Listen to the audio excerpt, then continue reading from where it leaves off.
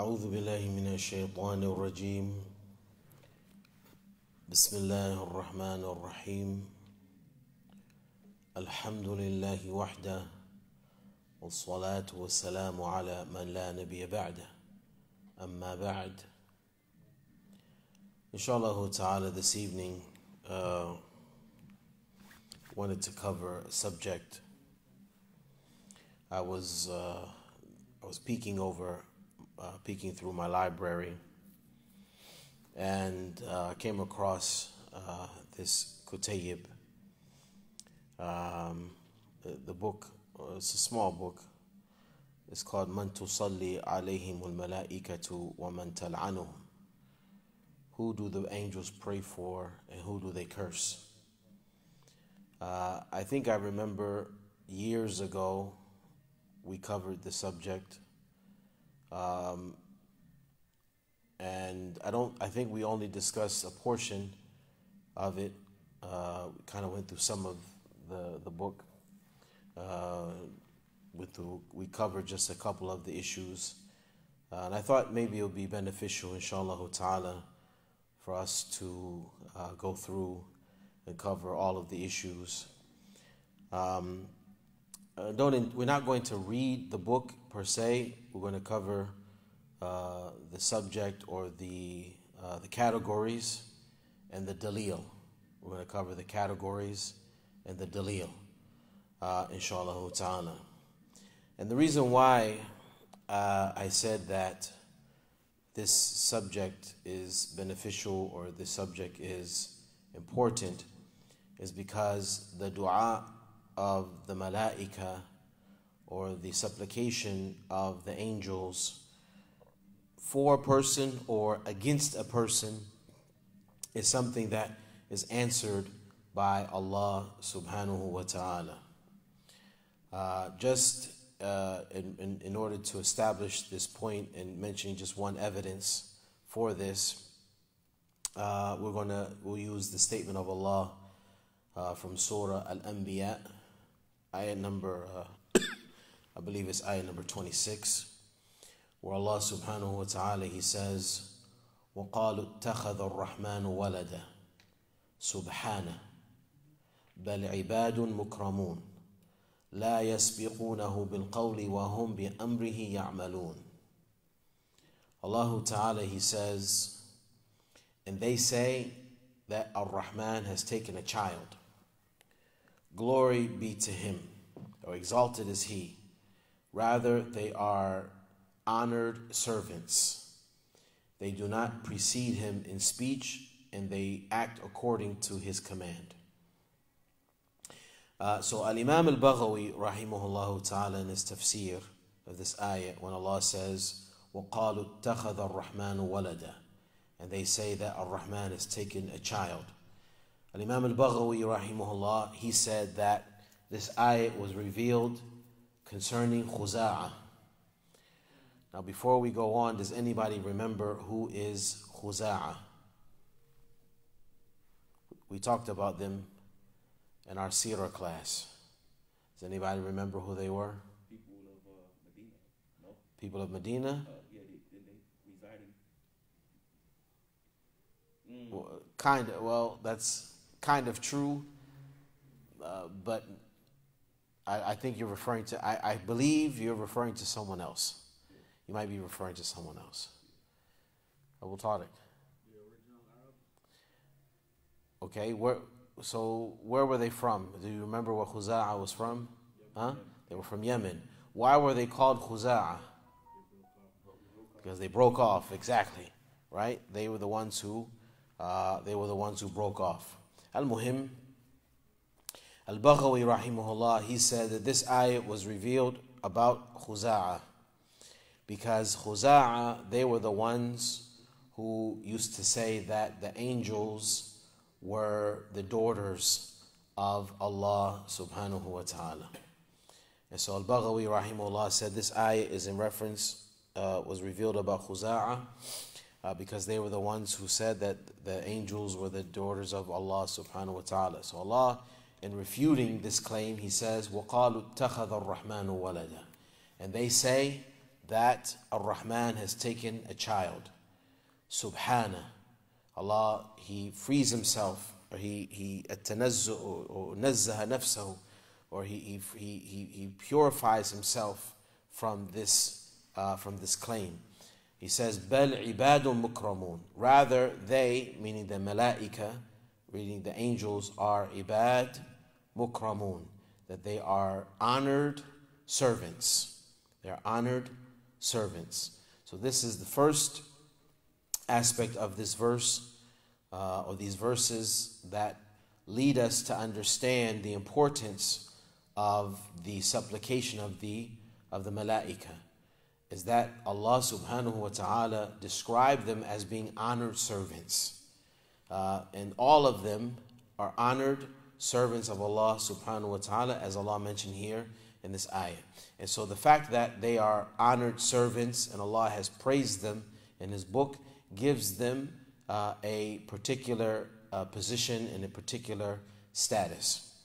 Then Allah subhanahu wa ta'ala, He says in the next ayah, لا يسبقونه بالقول وهم بأمره يعملون that they do not precede him in speech and they work or they implement his command.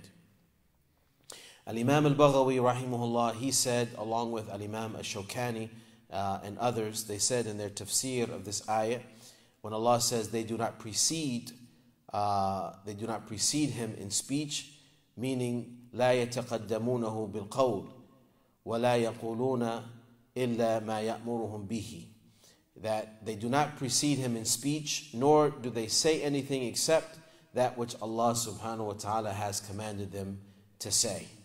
And so this is the second aspect of this verse or of these verses that shows the importance of the supplication of the angels uh, and that is that Allah Azza wa Jal has described them as not superseding Allah in speech.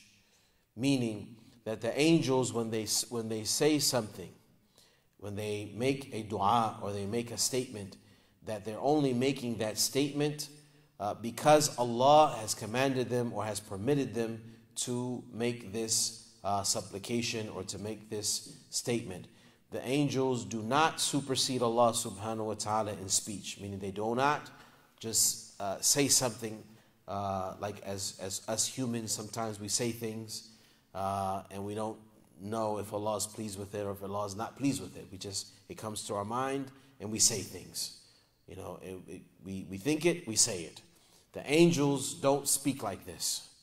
The malaika, they don't have this type of, of speech where they think of something and just say something. La. Uh, the angels, they, they do not supersede Allah subhanahu wa ta'ala in speech.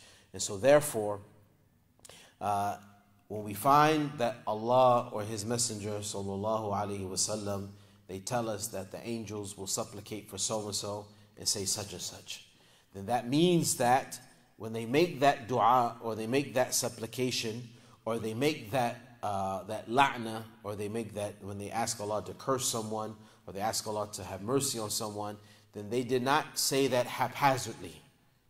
That did not come uh, as a haphazard statement, or they did not come off of, of, of hastiness, but rather, uh, because they do not supersede Allah subhanahu wa ta'ala in speech, then that means that Allah Azza wa Jal has granted them permission, or Allah subhanahu wa ta'ala has ordered them to uh, make this supplication or to curse uh, these particular individuals.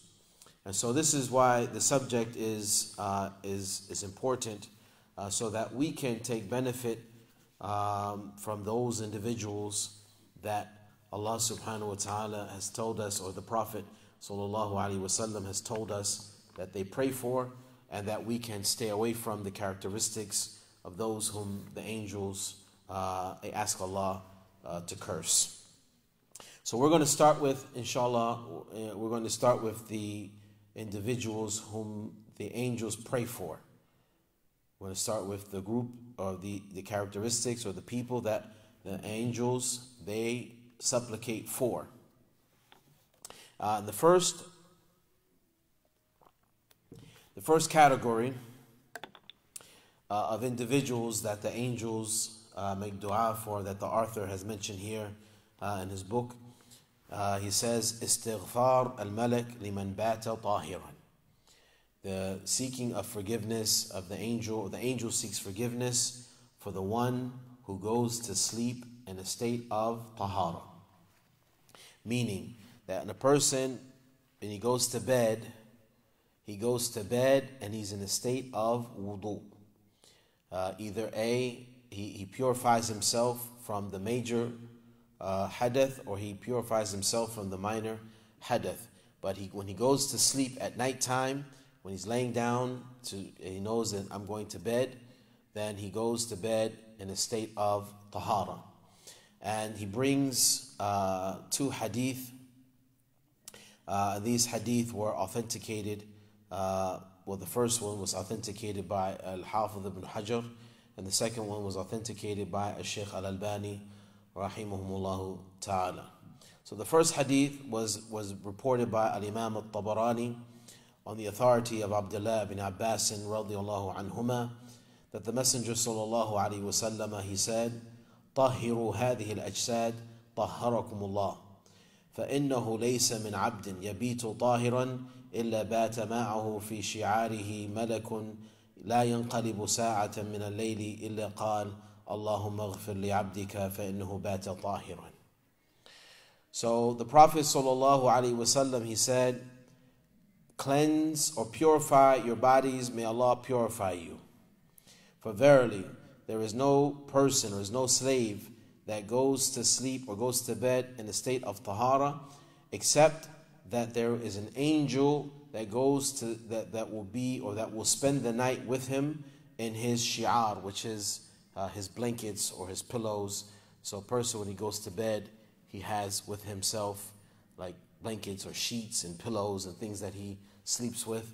Um, this, and so the Prophet ﷺ, he said that for verily there is no slave that he spends the night in a state of tahara except that an angel will spend the night along with him uh, and he will not uh, move or he will not turn over at any time throughout the night except that when he turns over the angel will say, O Allah, forgive your slave for verily he has spent the night in a state of tahara. Uh, the second hadith that is mentioned here has been reported by Ibn Hibban. Uh, so it was authenticated by Ibn Hibban and it was also authenticated by Sheikh Al Albani, rahimahullah ta'ala. Uh, he brings with this chain of narration on the authority of Abdullah ibn Umar radiallahu anhuma that the Messenger of Allah sallallahu alayhi wasallam he said, "Man bata tahiran bata fi shi'arihi malak." فلم يستيقظ إلا قال الملك اللهم اغفر لعبدك فلان فإنه بات طاهرا So the Prophet والسلام, in this hadith, he says, whoever spends the night in a state of tahara, then an angel will spend a night will spend the night along with him, uh, and he will not wake up except that the angel will say, "O oh Allah, forgive your slave so and so, for verily he has spent the night in a state of tahara." Uh, so here, these two hadith, uh, it shows us the benefit of going to sleep while in a state of tahara. Uh, and it's very easy. A person, when he knows he's going to bed, then he just goes to the bathroom and he makes wudu, uh, and then he goes to sleep. And by doing so, the person will have the benefit of an angel accompanying him. He'll have the benefit of an angel accompanying him and being with him throughout the night. And so if he turns over, because you know people sleeping, the people they, they turn over they roll over in the middle of the night, they're rolling, you know, they spend an hour on one side, an hour or two on the other side, and they roll over uh, from one side to the other throughout the night. As he rolls over in the nighttime, every time he rolls over, the angel will say, O Allah, Forgive your slave, for verily he has spent the night in a state of tahara. Or if a person wakes up, because we also we wake up in the middle of the night. Sometimes people wake up uh, from time to time in the middle of the night time.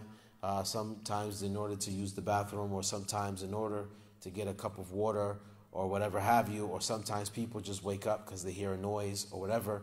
Uh, and anytime that happens, the angel will say, uh, O Allah, forgive your slave, for verily he has spent the night in a state of tahara. So this should encourage us uh, to, before we go to sleep at nighttime, to go to sleep uh, in a state of tahara. And we shouldn't, it should be a regular practice. Uh, it, may, it may take some, uh, some work in the very beginning. It may take you know, some effort if we're not already used to doing this. So in the, in, in the beginning, it may take a week or so of, of forcing ourselves to do this. But after a while, it, it, it will become a regular practice, kind of like brushing our teeth. Uh, it's just something that is part of the routine. It's part of the daily routine is that we know we go and we, we brush our teeth. And it's, we don't consider that to be, inshallah, I hope we don't consider that to be, uh, you know, hardship on us. But it's just something that we do as part of the routine. And so if we're not used to already making wudu uh, before we go to sleep, then if we do it for a week or two weeks or three weeks or a month, then after that, inshallah ta'ala, it'll become uh, routine. May Allah subhanahu wa ta'ala make it easy for us to go to sleep on tahara so that we can take benefit from uh, from this hadith, from the from the presence of the angels uh, making dua for us. Uh, the next category of those that are mentioned here in this book, Man tusalli alayhim al those whom that the angels that they make salat for. Uh, salat al malaika ala al qa'id fi al salah. The, the, the prayer of the angels for the one who's sitting waiting for the salah. And this is uh, when a person is sitting in the masjid waiting for from one salah to the next salah. And this will be whether it is between Maghrib and Isha, or if it is between Dhuhr and Asr, or between Asr and Maghrib, or even if it is between Fajr and uh, Fajr and Dhuhr, as long as the person is sitting uh, in the masjid and he's waiting for the salah, and his intention is that I'm sitting here waiting for the salah, then the angels will be making dua and supplicating uh, for that uh, individual. The proof of this is the hadith that you can find in the Sahih of Al Imam Muslim, where Imam Muslim, rahimahullah, he brings with his chain of narration on the authority of Abu Hurairah radiallahu anhu, who said that the Messenger sallallahu alaihi wasallam he said, أحدكم ما قعد ينتظر الصلاة في صلاة ما لم يحدث تدعو له الملائكة اللهم اغفر له اللهم ارحمه The Prophet sallallahu alaihi wasallam he said in this hadith that is found in the Sahih of Al Imam Muslim, one of you, uh, as long as he is sitting waiting for the salah, then he is in salah. One of you, as long as he is sitting waiting for the salah, then he is in the salah. Meaning he's he's rewarded as as as as he's making the salah. As long as he is sitting waiting for the salah. Ma lam yuhdith. As long as he does not break his wudu. As long as he does not break his wudu. Tad'u lahu al the angels will be supplicating for him. Allahumma ghfir lahu Allahumma arhamhu O Allah, forgive him. O Allah, have mercy on him. Uh, and so the, the part that, the portion of the hadith that we want to uh, concentrate on is the portion where the Prophet alayhi salatu wasalam, he tells us that the malaika are making or supplicating for the one who is sitting waiting for the salah. Now this does not include a person who is sitting in the masjid waiting for someone because they owe him money. For example, uh, you know, you, you say, hey, uh, I need, you remember, I, you know, I, you, you borrowed from me that $100, well, I need my $100 back. This person says, okay, well, I'll meet you at the masjid for Salat al-Isha. So you just so happen to be driving by, you're like, you know what? Let me just come and pray Maghrib. You know, and, and since I'm here, there's no point in me going home and coming all the way back. So I'll just sit here and wait. You say, this person is waiting for what? He's waiting for his money. That's what he's waiting for. He's waiting for his money. That's why he's sitting there. And so we're not talking about that individual. We're talking about the person who sincerely has come to the masjid and he his intention and his only purpose of being in the masjid and he's waiting is for the establishment of the salah. And so as long as he's in the state of wudu, as long as he's in the state of wudu and he's sitting in the masjid and he's waiting for the salah, whether he's sitting in a chair or whether he's sitting on the floor, whether he's laying down on his side, whether he's reading the Quran or whether he is uh, you know, playing with the, you know, the lint balls in the carpet, as long as he is sitting in the masjid and he's waiting for the salah, ma lam yuhdith, as long as he hasn't uh, committed hadath, meaning he hasn't broken his wudu, then the angels, the entire time that he's sitting there, will be making supplication, will be supplicating to Allah subhanahu wa ta'ala for this individual. Allahumma ghafir lahu, Allahumma arhamhu. Oh Allah, forgive him. Oh Allah, have mercy on him. And so the angels will be making the supplication the entirety uh, of, of that time, which is a tremendous uh, dua for this person to benefit from. Because if how long is it between Maghrib and Isha, for example? What is that? Like a, so an hour. So if a person is sitting in the masjid for one hour, waiting for the salah, and that's the, the only thing that's keeping him sitting there is the salah, right? He's, he has the ability to get up and go, right? He's not waiting for his ride as soon as the ride comes and he's leaving left. He's there intentionally waiting for the next congregational salah. Then the entirety of that hour, the angels are saying, Oh Allah, forgive him. Oh Allah, have mercy on him. And so uh, that's a tremendous, tremendous benefit for waiting uh, for the salah. May Allah subhanahu wa ta'ala make us uh, from amongst them.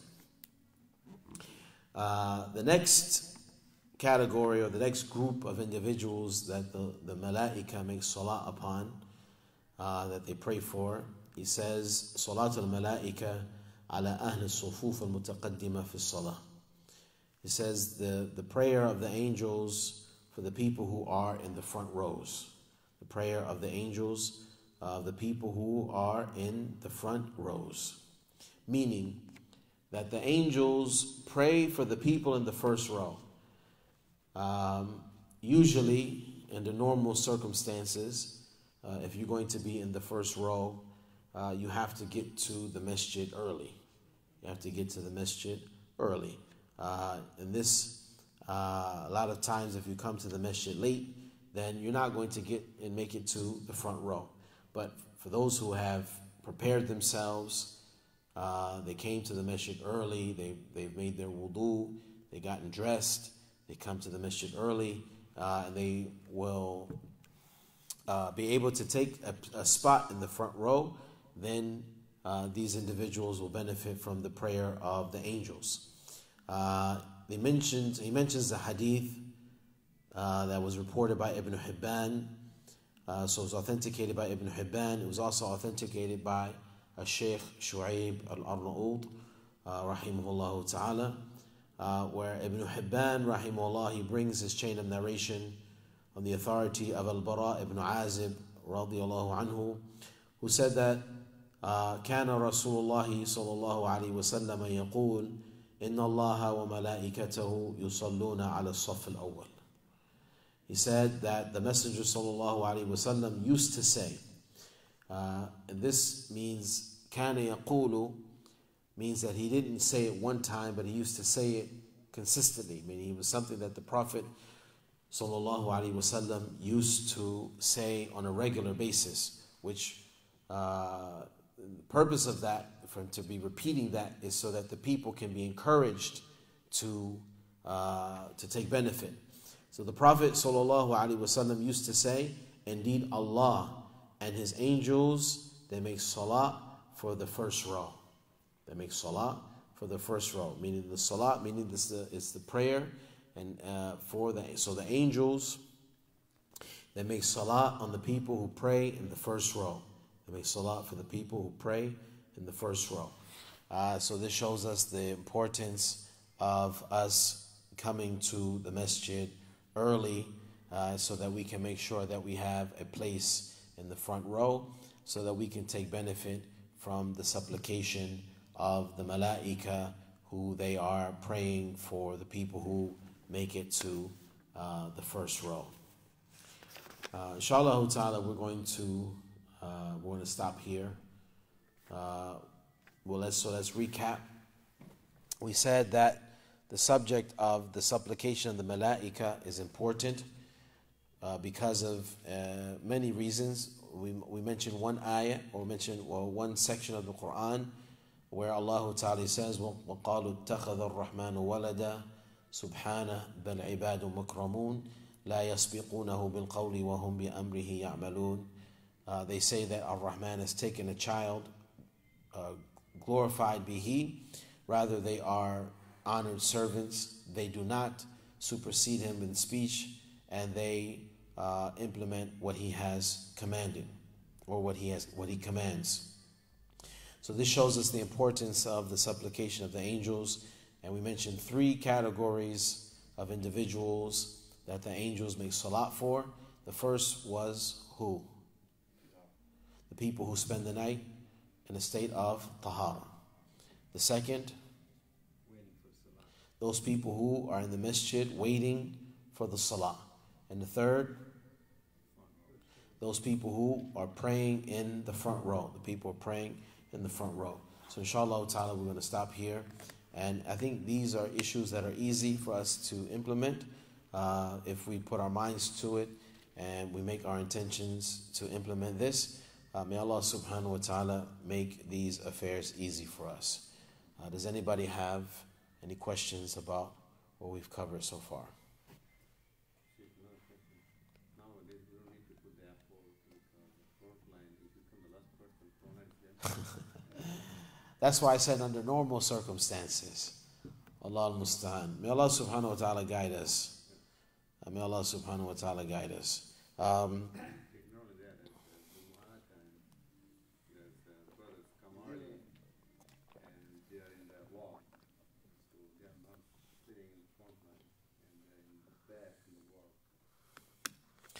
May Allah subhanahu wa ta'ala help us and guide us.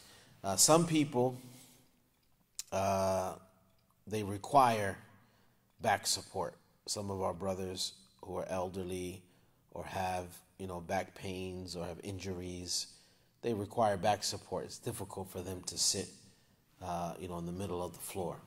However, for those of our brothers who they, you know, they they they that's not their case, and they just come in the masjid early and they post up on the wall because it's comfortable, you know, they you know they want to relax against the wall, then they are they're allowing for other people to who come after them to take their spot uh, in the front row because they're sitting. They end up praying in like the third row or the fourth row, uh, and they they should that, that's something that they should uh, they they should be warned against. Um, and that's not you know because why why would a person who comes early and has a spot give up the spot to someone else and let them take the reward? And again, that's that's for those people who uh, they don't have any issues. But some brothers, we do know that they have issues. Uh, they have back pains and things like that. Uh, may Allah Subhanahu wa Taala help us and, and, and, and forgive us. We're going to talk about that, inshallah. That's our next. Alaikum salam.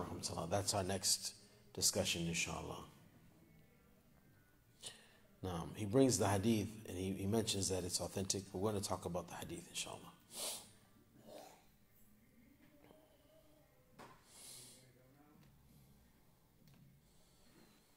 خير نعم تفضل Uh, are there still lessons on the A- Akira app going on?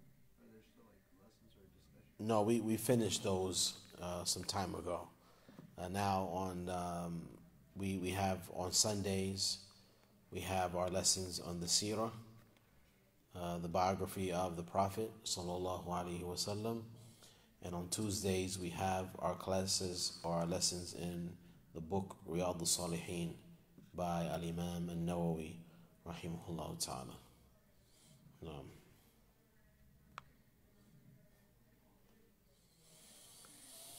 خير إن شاء الله we'll stop here and we'll pick up again next week هذا والله تعالى أعلم وصلى الله وسلم وبارك على نبينا محمد.